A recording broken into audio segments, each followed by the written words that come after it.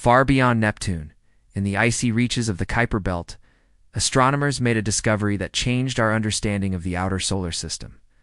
Using the NASA Hubble Space Telescope, scientists detected a small moon orbiting the dwarf planet Makemake, one of the largest known trans-Neptunian objects.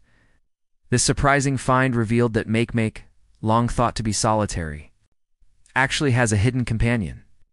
Makemake, often called the bright jewel of the Kuiper Belt, is the third largest dwarf planet after Pluto and Eris. About two-thirds the size of Pluto, it reflects sunlight brilliantly, but remained mysterious until Hubble spotted its faint moon, provisionally named MK2.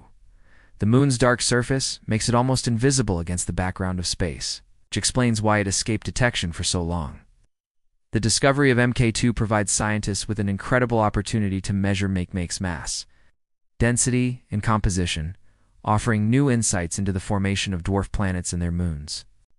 Just like Pluto and its famous moon Charon, Makemake now joins the growing list of icy worlds with companions, reminding us that the Kuiper Belt is far more dynamic and complex than once imagined. This revelation highlights how modern astronomy continues to uncover the hidden secrets of the solar system.